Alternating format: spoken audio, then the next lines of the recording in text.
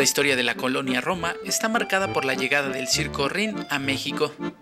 Eh, mi familia está haciendo circo en Londres aproximadamente desde 1830. Antes que Circo Rin había llegado un circo de un italiano, Chiarini, es un este, hombre de, de circo, Chiarini, que es de los pocos que también construye dos circos en México. Pero el circo de 1881 a 1884, trabaja en lado, en, la plazuela del seminario, que es a un lado del sagrario de la catedral.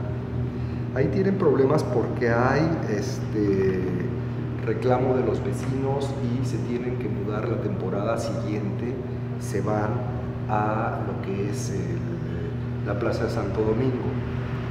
Pero ya empiezan a construir el circo con los señores Lam, especialidad de ellos era la, acrobacia ecuestre.